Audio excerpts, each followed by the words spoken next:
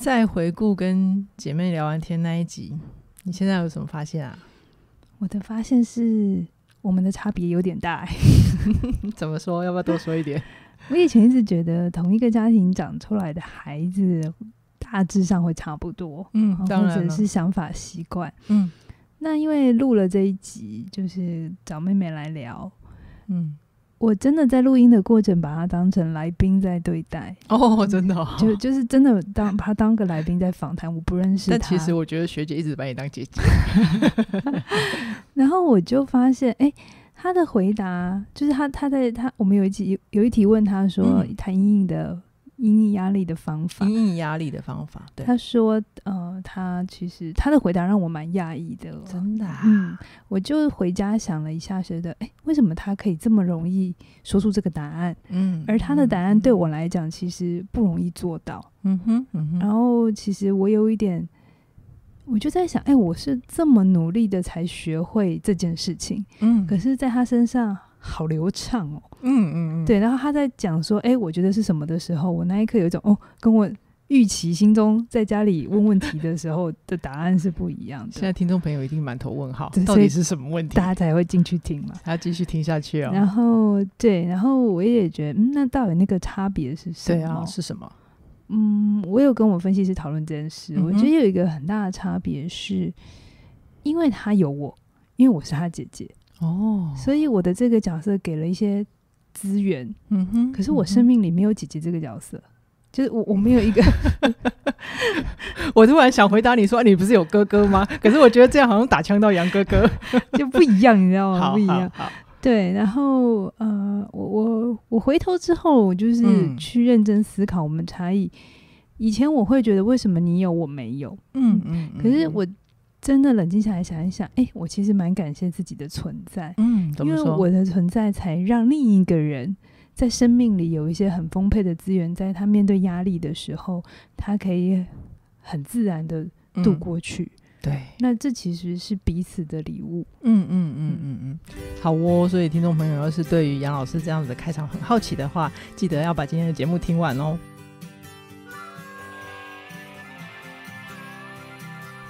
他睡醒了，我不管我有没有睡饱，就是换尿布、喝奶，然后陪他玩，然后他哀哀叫，想尽办法让他不要哀哀叫，然后又一个循环，他又饿了，然后又要喝奶，又要泡奶、洗奶瓶、换尿布，尿布，就是如此。哀哀叫，陪他玩，不要让他。所以你会一直觉得你的生活都处在一个很重复的状态。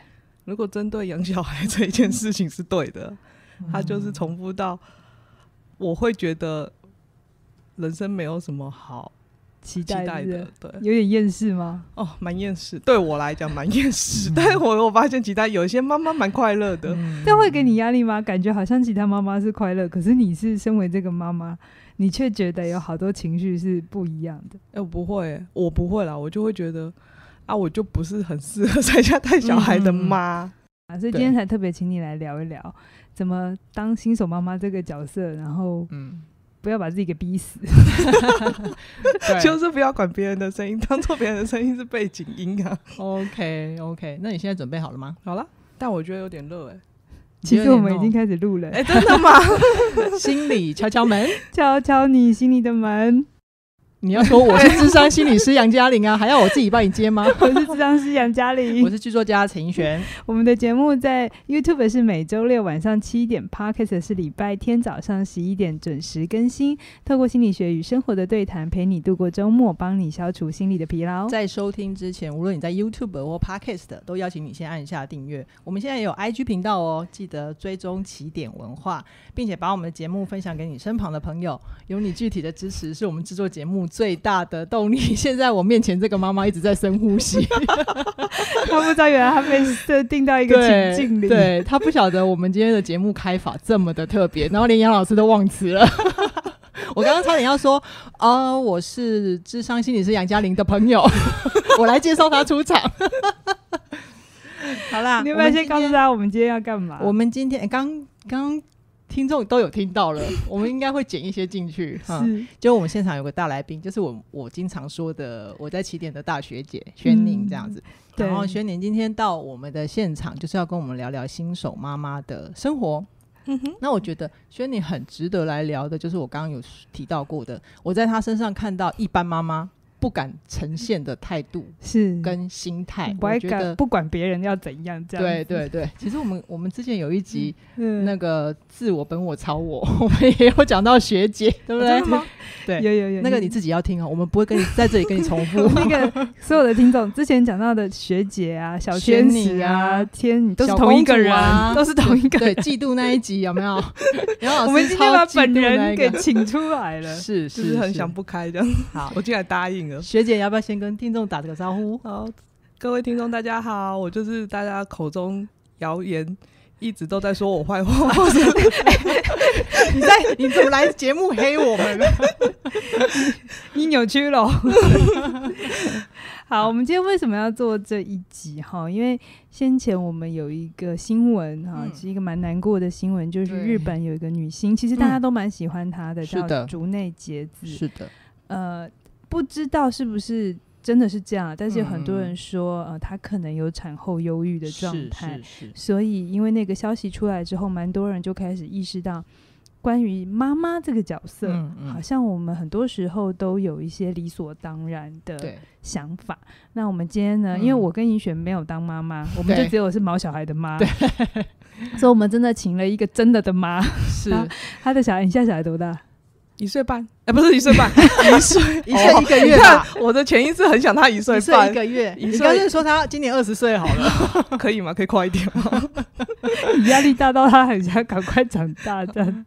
但后来想想，每个就是问我的同学比较小孩比较大，他们都会说、没有没有，你这个阶段才是最好的。所以每个阶段都是最好的阶段。对，对后来我就算了啦，随便啦，他开心就好，他会长大就好。哎、是不是当了爸妈之后？因为我知道有些人当妈妈、当爸妈前会有一些期待，就是哎、我的小孩要漂亮吗？还是我的小孩要将来可以弹钢琴？就是你们在生小孩之前，你在跟你老公在一起，有去对这个孩子有期待吗？哎、说实话，我们没有，因为他是意外来的啊、我来不及有期待、通常 你怀孕十个月过程还是有有有一些想法吧？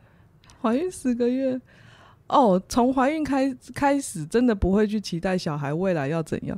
当妈妈的时候，那个当下就只希望他健康就好，所有的超音波，所有的任何的对检查，我只期望他可以健康，然后时间到再出来。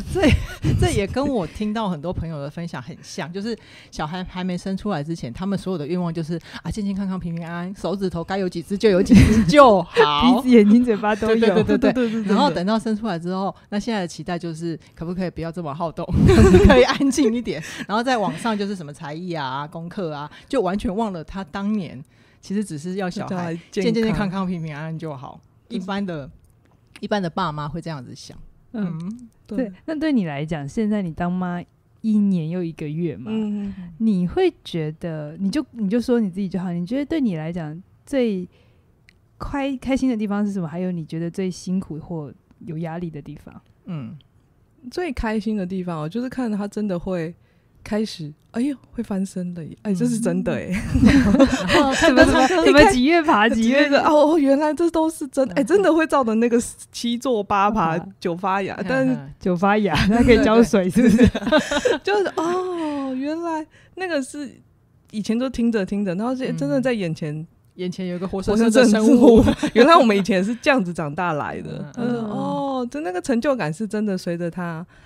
哦，看着他会翻身，看着他会爬，然后很奇怪的爬，那些很奇怪的，然后开始会叫妈妈，嗯然后那个你有感动吗？当他讲妈妈的哦，那时时候当下是你在叫谁？我就哦，然 后最近是不是还有一个新乐趣，就是他可以 Q 唱歌唱歌，我就对对对，他就是他开始跟你互动了。嗯呃，大概快一岁左右，你就会觉得呃比较真实。以前真的没办法互动，你就会觉得、哦他就是一个不受控制的洋娃娃。对就是会一直哭。对，然后你搞不清楚你知道为什么哭，你哭什么哭啊？你这该喝的该喝了。哎、我听说有妈妈就是一直搞不清楚她小孩在哭什么，她压力很大，然后很挫折，你会有那个经验吗？呃，一开始会，就是真的在前三个月的时候，想想啊，他到底在哭什么？现在在哭哪哪一条？？然后就开始 Google，嗯，就是三个月哭到底是哦肠绞痛哭，嗯。还是他是什么哭？嗯。可是我觉得后来我比较释然是觉得，当了你真的当了妈，真的有那个直觉，你知道你自己的小孩哦发生了什么事情，不要被我后来就是不要被外面的声音觉得去干扰说去评去干扰我对于小孩的判断，因为我的嗯直觉事实上是最准的。嗯嗯。我真的后来才验证了啊，原来他他真的他现在的哭真的只是想撒娇，撒娇的哭，想要就是要妈妈你就分得出来了我就真的分得出来。我相信我自己之后，我就真的分得出来了。嗯哦，所以那个有一个过渡的过程，就是虽然你怀了孕，也真的把他生下来，可是到你真的觉得是他妈妈，你可以把她妈妈这个角色，他妈妈，他妈妈这你个不要自己加强就没事了。当好，好像有一段心路历程哦。会会会会有那一段辛苦，然后怀疑自己到底能不能做好，嗯然后嗯真的到最后是。一开始会觉得想要每件事情都很完美，就是人家所谓的啊、很优雅啊，然后很了解小孩啊，然后可以不要破口大骂，尽管你他现在没有断掉的，对啊，后来的，但只是逼死我自己，我还是做我现在能力可做的就好了。，对我刚刚有听到学姐有一个很难得的地方，就是一般人很难嗯不管别人、不管外界的声音。真的很难。这个部分，学姐有自己度过的那个心路历程吗？就是深呼吸，告诉自己没关系，别人的意见都很好，但我要不要收？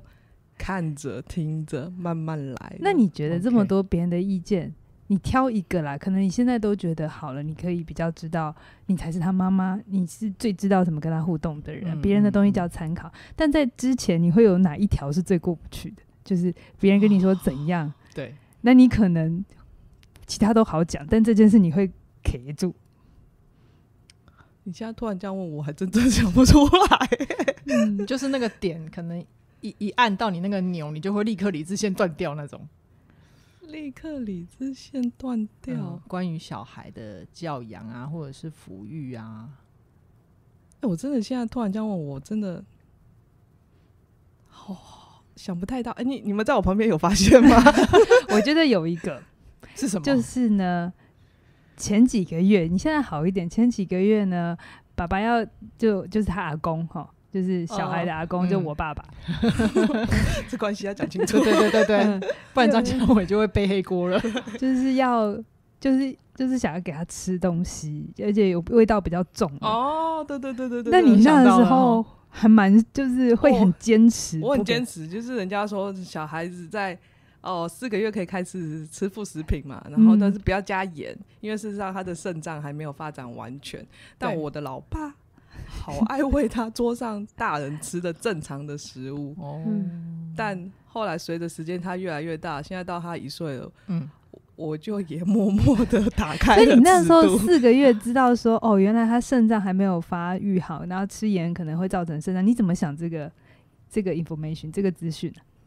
嗯，我就相信，你就相信了？我就相信啊，这件事情就就医生讲的，嗯 医生讲的多有效，医生讲什么我都好哦好听着听着。那你那时候有试着要去跟杨爸爸沟通哦，我多用力啊、我就直接说说看，我就说说看说，你不要再喂他吃这些了，这些对他不好。当然，阿公的角度就会觉得，我后来比较能理解，就是他想要满足他给孙女的爱，嗯透过喂东西，因为孙女会开心，哦所以我才后来慢慢的释然。那一般前面我就是直接掉下去，因为小女儿的角度蛮用力的，小女儿是是轩女我们家排行最小的就是她，所以呢，她是唯一在我们家敢跟我爸呛下的人。对对对对，这就是传说中的小公主。你有没有发现我们家学姐超真实的？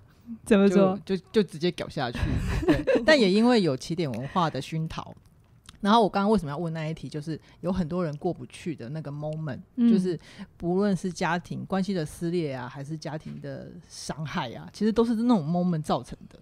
嗯，但学姐就是她已经告诉我们她的方法，可是我觉得这里头有一个有一个挣扎是，轩宁当然因为他有那个能力去看见我爸爸在给食物这件事情是在给爱，是在给爱。可是我觉得一般的人比较困难，就是在当我有一个资讯是收到医生说这样子肾会坏掉，然后我就会有一个压力是，如果我没有照顾好小孩，身体出了状况，那如果他将来长大真的要肾肾烂掉这样子，哦嗯真的，你会有那种压？力吗？会，一开始会，人家就就是好像那个责任都在，会变成都是我没有照顾好，是我没有做好妈妈的位置，对，是我没有把关，因为他没有能力嘛，嗯他的、他的状态是我要负责，但后来也觉得这是逼死我自己的状态，可是我我想问你，就是你不不会在那个过程当中觉得好像你身为一个母亲，你有好多的责任，然后又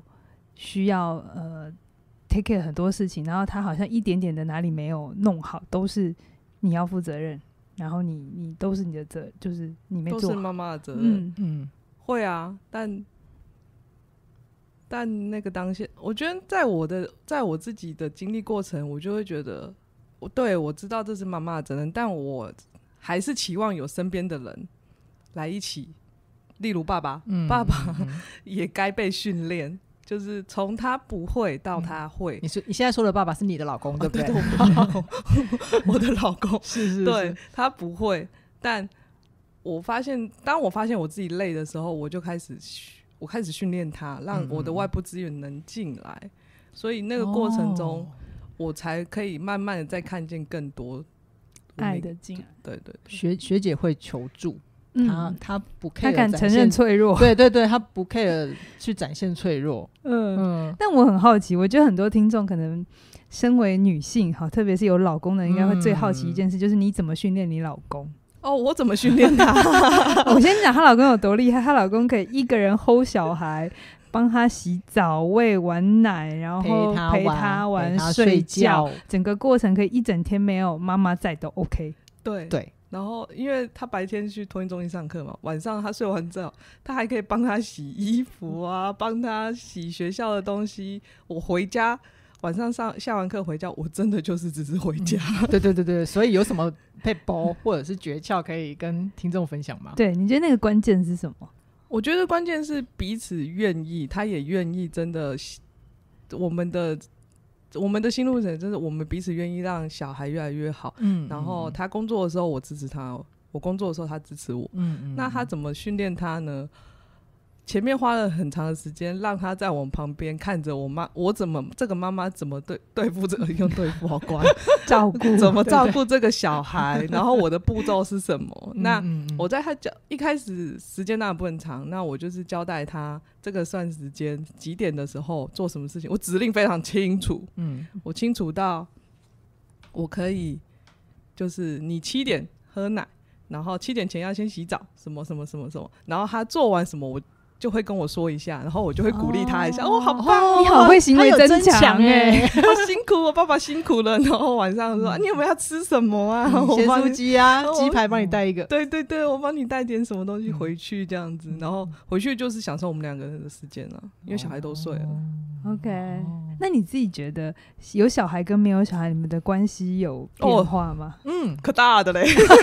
说多说一点。多说一点是什么？是什么变化？你以前你真的就只要管好彼此，你就是你管你好你自己，我管好我自己，然后你自己的家人你自己管好，我自己家人我自己管好，我们的防火线事实上是有设好的。OK，对，但有了小孩之后，你知道后面的长辈的声音越来越多，就是长辈也会开始说。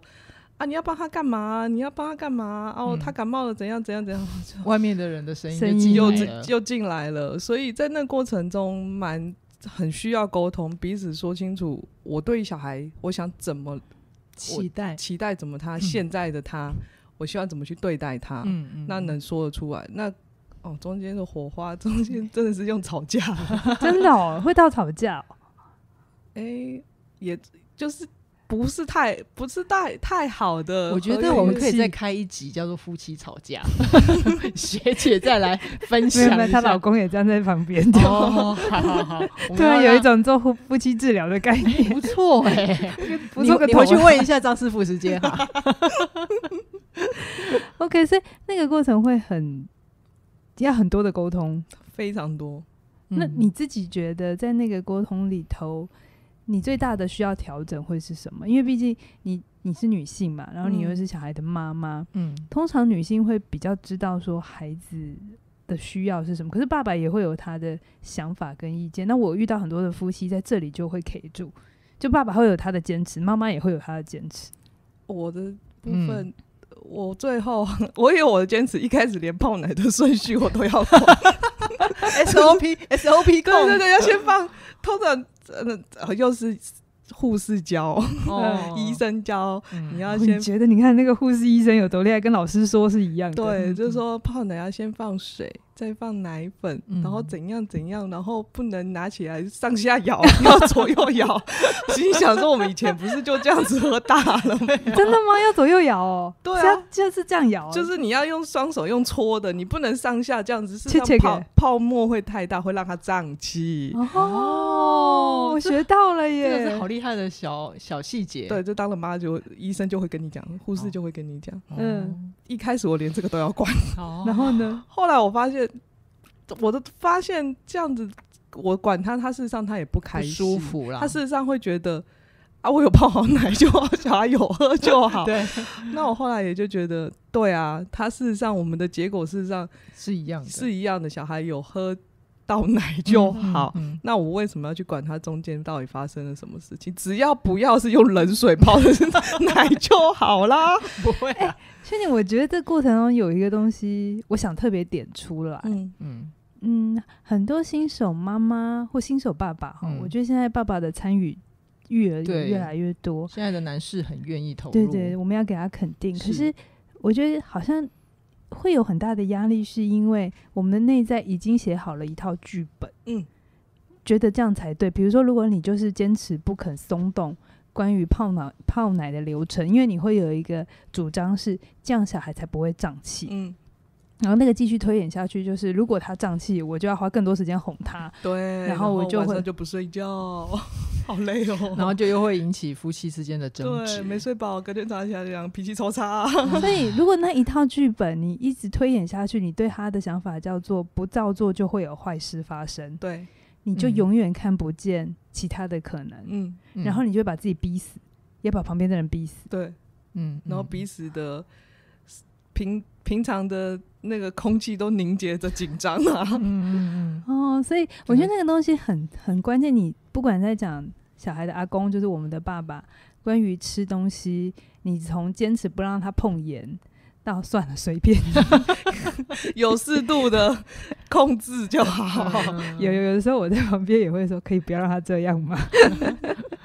好，然后到你可以看到你老公，其实他有那个意愿，虽然他 SOP 的方法跟你不一样，可是嗯你愿意看见的事情是他他有想为孩子付出心力，嗯，所以你就可以先把剧本放到旁边。对，没错。嗯不然的话，那个剧本其实是强大的原因是第一个，它来自于专业人士的呃一个背书背书，嗯对对对，嗯医生的话好像很难抗拒。哦，无法啊、我没办法承担小孩好。如果没有照听，他就不好了，怎么办、啊？所以那个医生的话嗯那么强大，是背后不是医生代表的权威地位而已，还包含着你好害怕小孩出事之后会是你的责任，对，没错。嗯所以你很害怕，呃，你负担不起责任，所以你就按照别人给你的剧本。对，我就这这样子照着做，好像就比较不会出事，比较有安全感但我也没办法肯定，就是你真的这样做，你自己还是会很大的怀疑。对，可是轩尼有一个很很大的转折点，我希望大家能听懂，就是他、嗯他最终可以现在比较没有那么大的压力，是因为他长出自己的自信。嗯，就他嗯不是不听医生的，但也不是全听医生的。他不是他身边的人都要照照他的走，但也不是就让身边的人嗯都不照着走，对嗯。我觉得那个是有弹性的。那个非常重要的关键点就是那个自信可以讲得出来。嗯哼嗯哼。嗯，那学姐，学姐现在聊到这边，我我好像听到一个，就是社会它还是会对女性有比较一些严苛的刻板印象嘛，对不对？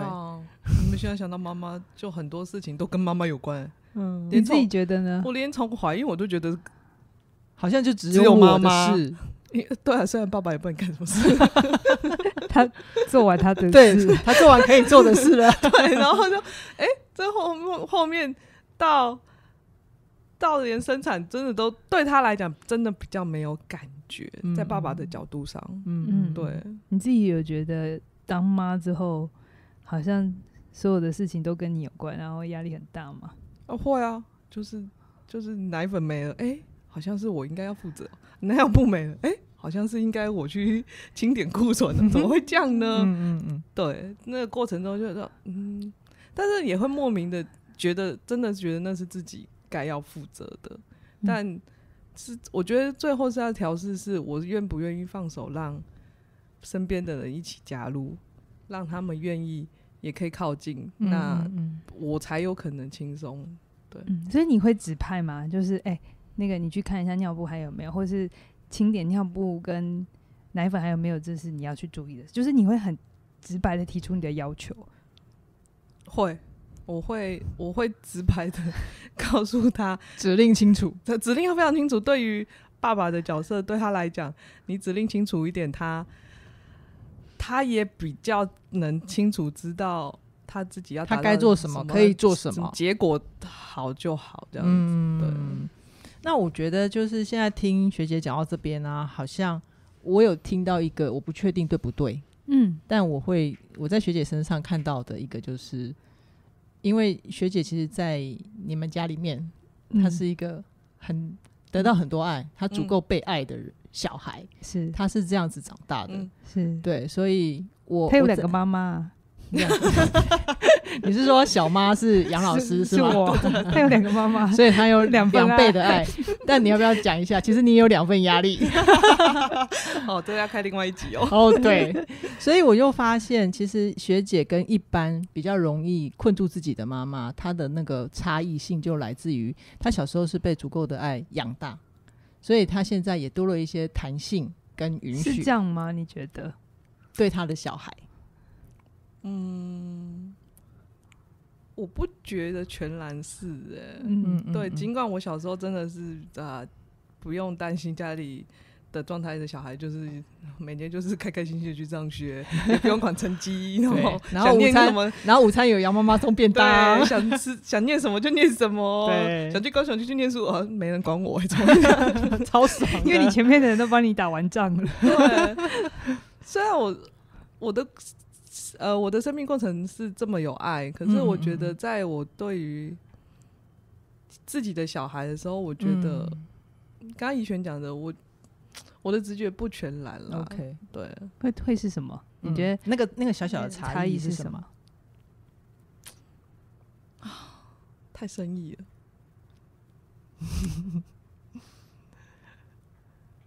学姐在录之前要我们不要给反纲，现在突然间空白了，怎么办？嗯，那个差异是什么？我自己的，我自己的，应该说，我原本自己的状，呃，应该说，我还没进起点文化以前，我可能会跟是一般的妈妈是一样的。嗯那在起点文化里面，上工作那么久，看着嘉玲跟凯宇嗯，一起工作，一起一起就是一起一起打拼，一起创业这，样子，跟这么多然后看着学员相处，对。学员的成长，对不对？对，我觉得那个是我自己后后来添加上去的一个养分上去，我才有可能看到，在我当妈妈的时候，我能看见我事实上我适度的让放手，嗯。我事实上我我我还我是有爱的，我是这是我从起点文化后面才去学到的经验啊，嗯这是我觉得，但但是不是原生，我觉得一半一半吧。OK，所以也就是说，学姐现在虽然她比一般的妈妈放得开、有弹性，但也不全然是完全没有压力。特别是张梦博小朋友现在才一岁一个月，对啊，每个阶段有每个阶段的压力啊。例如，嗯呃，例如我决定我回来上班了是的那个过程，嗯就是你要不要说一下你当初是怎么想？哦，当初就是、你有想过要请三年育婴育婴假吗？我一开始的剧本，有过啊我没有，我我我我清楚知道我不会是完全在家照顾小孩的妈。哦，嗯嗯，但我那时候的剧本就是因为起点文化就是蛮自由的嘛，是就是有进来上班再上班，然后没进来就在工作。然后我就想说，那在家工作我就可以照顾小孩啊。是是，然后如果我真的需要进教室，我就有有我妈妈可以帮忙，我嗯爸爸可以帮忙。嗯我的剧本一开始是这样，OK，后来呢？后来一个月做完月子之后，发现这一条根本行不通，完全不照你的剧本走，你失控了。真正行不通的原因是什么？因为你你一个心力在小孩身上，你无法控制工作什么时候会来。那他们当小孩在哭的时候，工作又来的时候，我真的只有一个人的时候，那个过程中是很大的、很大的拉扯。我现在是要顾小孩吗？对，小孩现在是我的责任，我应该要去顾他。但电话响了怎么办呢？对，他好像只能两个选一个吼，在那个当下，如果电话也来了，小孩也嗯正在哭，你又不能跟小孩说等我等我一下话 我再哭。谁理你也啊不能跟客户说我的小孩正在哭，所以你晚一点再打来。对对对对对对对。后来才发现，剧本真的不如我当初想的美好，嗯因为嗯前三个月的嫩营真的是自己的新手，就是乱七八糟，就是所有都是啊，正所以在学。这样好像有会想到一些妈妈们本来所期待自己好像是应付得来的，嗯，嗯就特别是对自己有一些自信，就是他成就也还不错的时候，嗯他会觉得他以前可以 handle 了很多事情，有没有？嗯学姐以前在还没生小孩之前，所有的起点花都是他他 handle 的。没错，那这比比我跟邱老师都还要有功能，对，一百样跟猫毛一样细的东西，学姐都完全搞定。对，所以他就会很容易就是，嗯，这应该还好吧。对啊，应该不难吧？我自己喜欢小孩，应该照顾小孩不难吧？结果一个月之后就打回原形哦了。，完全不行。嗯然后我就后来凯宇跟嘉玲也陪着我去聊聊。哦，我发现我自这真的自己无法照顾小孩，嗯我真的嗯没有像全职妈妈那么的热爱照顾小孩。我发现了这件事情之后，嗯立马。我记得好像两个礼拜内我就找到对托运中心，我就把我小孩送送进你有没有托婴中心。发现，其实学姐嗯对自己的承认很快，她很她不快会盯在那里、他欸。他不太防卫的。对，真的，可是你那个时候发现，因为因为我记得你那时候结了婚，然后我跟你讨论你要不要小孩的时候，你就跟我说你会要，因为你你喜欢小孩。对对对，嗯那我也觉得你真的天生就是比我还喜 对，喜欢小孩，你天生适合当妈，适合怀孕。蛮适合的。实只适合生小孩。可是你后来，我记得那天我们在聊，然后呃，你发现原来你没有自己想象中的爱小孩。嗯，发现这件事情的时候，会不会让你很 shock？、啊、因为你当初是因为你以为你真的很爱小孩，所以你才去生小孩。嗯，还是内疚感。哎、我当下真的只是觉得我我 hold 不住了，所以没什么好不承认的。就是我我哦我承认不代表我不爱他，对对对对，我就嗯、就承认我我没那么在行就好了吗，那就换一个专业的来就好了。可是我觉得有很多嗯。妈妈在这里会过不去，对。因为就刚才怡璇讲，我们这个社会给女性一个期待，就是你天生就应该要会照顾小孩，嗯，或者是你不会照顾小孩，你当什么女人？对，或者是怎么有可能妈妈不爱小孩，对吧？嗯我觉得爱有很多种，对我来讲，爱有很多种，我为什么要全心全意在他旁边？这才叫爱。对，可是嗯我觉得有些时候那个东西会很隐形的放到我们身上是，好像就当了这个角色之后，我不能承认。Sometimes 我觉得小孩很烦，我就很想把他丢出去。对，我想要把他送给别人，嗯有没有人要把他领回家？一个晚上都好，我会非常感谢。对我随时随地都在喊这句话。对对对，我觉得这几些年来可以，可是我嗯们家在在小的时候，嗯你觉得我们的妈妈有有能力这样说吗？不行哦，他们只能就是认命的，再忙再怎样，小孩背着也都是要自己负责。我们的妈妈那一代，其实对于不爱小孩或不会照顾小孩，几乎就是一件千夫所指的事，嗯而且是他们所有的身为女人的价价值值的毁灭哦。对啊，对啊，是这么大的。嗯，所以我觉得今天邀请轩尼来，也就是想要让大家知道说，哎、其实你身为女人不一定只能这样想，只能这样想，对，对，剧本有很多种，然嗯后我觉得学姐今天来跟大家聊的，它就是一种你自己找到出口、嗯，舒压的方法，对不对？嗯。那而且他那个时候真的超超有趣，我都会嗯觉得你真的爱小孩嘛，就是 你自己亲姐姐怀疑你妹妹爱不爱小孩？因为那时候我们就去聊，然后、嗯呃，我们就好好跟他聊，因为我们心中也会有我们的我们的想法，因为就是公司还是要经营嘛。等一下，你接下来要讲的话要小心哦，因为张梦梦十八岁有可能会听到这一集哦。突然觉得有压力，我们来上一下压力课。对对对，这时候该怎么排解压力呢？好啦，对不起，我打断你了，你先讲完。就是，哎、我都在讲什么啊？就是我们那时候也在想，哎、如果轩宁她想当一个好妈妈，我们就全力支持她当好妈妈，那我们就得公司还是要营运嘛，我们就是得想别的方法。嗯嗯但如果他知道自己没办法只当妈妈，他还要嗯工作的话，那、我们就真的得很现实的来讨论。这个时候就不是来谈亲情了，就是我们得现实的讨论怎么样才能 work。嗯那他本来那时候就想说，哎、那妈妈，我我自己的妈妈啦，啊，嗯就是阿妈，小小孩的阿妈对是一个后援，你看又是阿妈，阿妈为什么永远就是 被推出来要照顾小孩？好，这另一个议题。对，那时候轩宁就有跟我说，哎、他他想说要不要，因为我们不用每天进办公室，要不要？呃，如果没有进来的那一天，就给阿妈这样子。那他其他可以进来的时候，哎、呃，不用进来他就在家，然后可以进来的时候需要进来他就进来这样子。对，本来也是打这种算盘，可是他那时候我就跟他说，我就问他啦，托婴嗯要多少钱？嗯嗯嗯很理智的问他，嗯我叫他去做一个功功课，嗯因为我不知道。嗯。然后他就跟我说，哦，现在有补助，感谢大德的政府，那真的，我们要感谢他有补助。有。政府有用有用，嗯，然后他跟我说，一个月好像月费多少钱？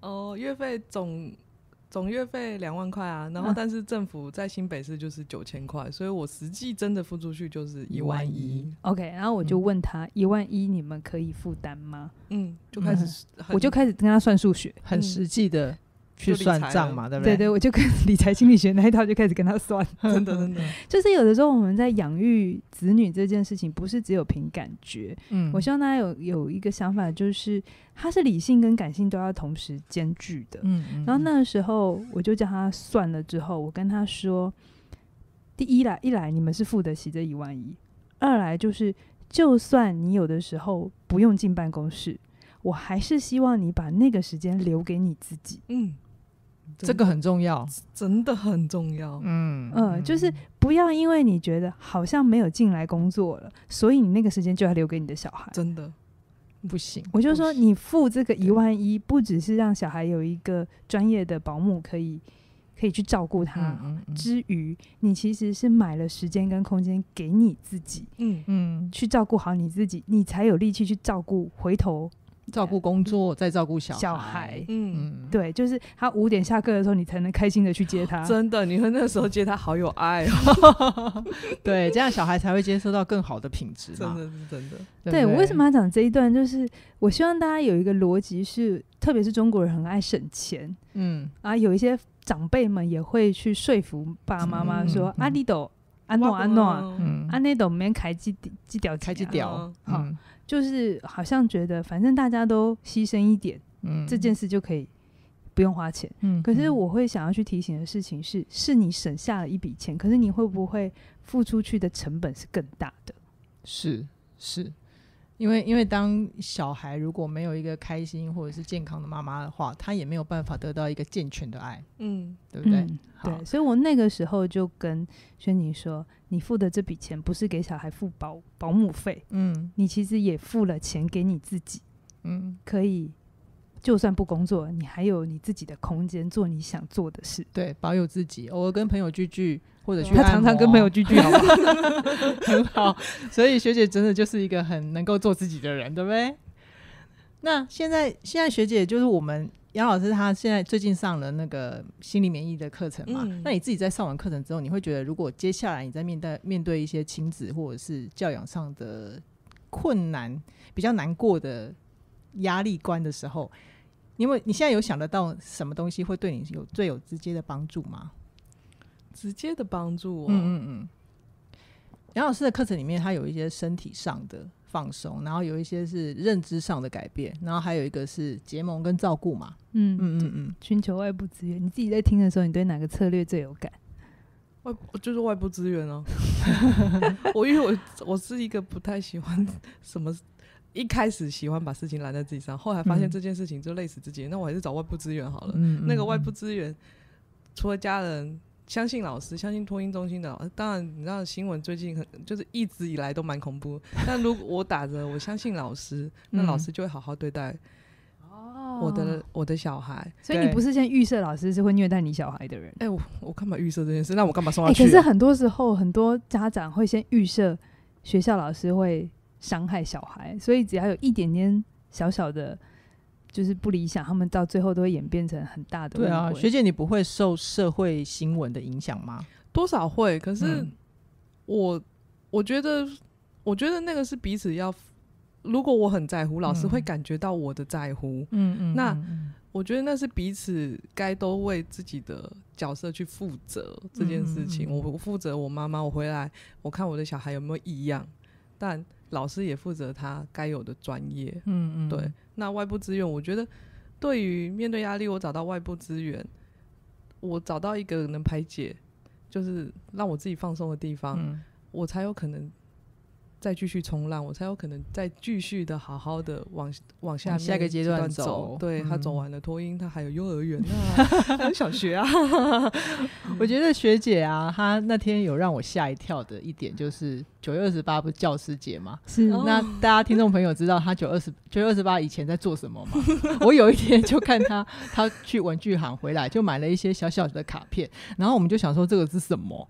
结果想说起电话要干嘛的？对，我们要做什么活动吗？我怎么都不知道。结果这个是送给张蹦蹦老师的教师卡，我真的第一次听到看到有一个妈妈是为了一岁的小孩在帮老师做教师卡，然后其实你就是在做好那个结盟跟照顾的资源嘛。对对对对啊，嗯就是老师看到我的小孩，就对他好一点，好印象嘛，这是我自己的。当然，老师对所有的小孩是平等的啦，但我会觉得，如果我可以这样子给老师好的循环，你给他好的善意，对，让他感觉到事实上妈妈是很谢谢他，很感谢他的，嗯那个他他就会有好的，就就就是不会再有就是正向循环啦。对啊、嗯这件事情，老师也好的心情，就是他工作上面也不会觉得很厌烦的。好，我我不得不说，这真的是让学姐让我有惊惊喜跟惊讶的地方。嗯她她很会做到照顾跟结盟，这是这一点，对不对？他真的是起点花的公关。对，继 Coco 之后，对他把我的上上下下、里里外外的关系都打理得学姐要叫 Coco 学姐，对不对？对，我要叫她学姐。好哦，所以杨老师最新推出的线上课程《心理免疫力》，它其实就有很多方面的呃入口，让你可以去调节自己的压力。那我们自己在上过课程之后，也都得到很多的帮助。比如说今天来的大来宾学姐，她就是一个最好的见证。所以如果你也对自己的生活里面有压力的困扰的话，欢迎都点选我们节目下方的链接，就可以去购买我们的课程。是。那今天就先跟大家聊到这边了我们今。天要先谢谢我们的来宾，好啊。他是我们敲门第一个来宾。不是啊，第一个来宾是哈克。哎、对耶，可是是我们三个，就是我跟说你第一次三个三个人录，对对对，OK 但 OK，是一表那也表示我们的设备升级到另一个程度。好，好了，所以我们之后可以再多邀来如，果有机会，比如说我们的新，世代同事，也可以邀来聊一聊 就是关于青少，就是刚毕业的新鲜鲜人在压力什么事。是啊嗯是啊，也不错。好，那我们今天就先聊到这边，期待下星期为你提出更精彩的节目，拜拜拜